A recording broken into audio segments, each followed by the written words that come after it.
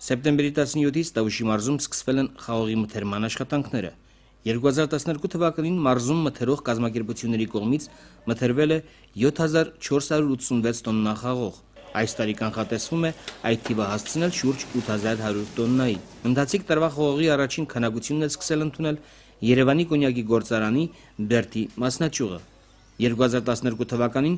գործարանի կողմից պայմանագրային կարգով մթերվել է 3000 տոննա խաղող, այս տարի կանխատեսվում է շուրջ 4000 տոննա։ Նախորդ տարվա համեմատ գործարանն այս տարի ավելացրել է մթերվող խաղողի գինը։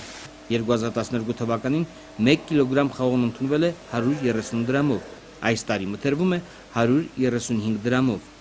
2012 թվականին մթերել են 3000 տոննա խաղող, 2013 թվականին նախատեսված է մթերել մոտ 4000 տոննա խաղող,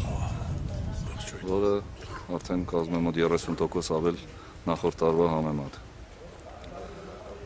Եվ գինը Գինը 5 դրամով բարձրացել է այս տարի 135 դրամով է գնվելու։ Վճարումների ժամկետները պայմանագրով նախատեսված ժամկետը 10 օր է, բայց 10 օր դա նախատեսած է, որ մաքսիմում օրն է։ Այսինքն 3 օրվա ընթացքում բոլոր վճարումները կատարվելու են։ Առաջիկա օրերին խաղողի մթերումը կսկսի Երևանի շամպայն գինիների գործարան բաց բաժնետիրական ընկերության Դեբեդավանի գինու գործարանը, իսկ սեպտեմբերի 25-ից հետո մթերման աշխատանքները կսկսեն նաև Տավուշի եւ Բերթավանի գինու գործարանները, Իջևանի գինու կոնյակի գործարանը։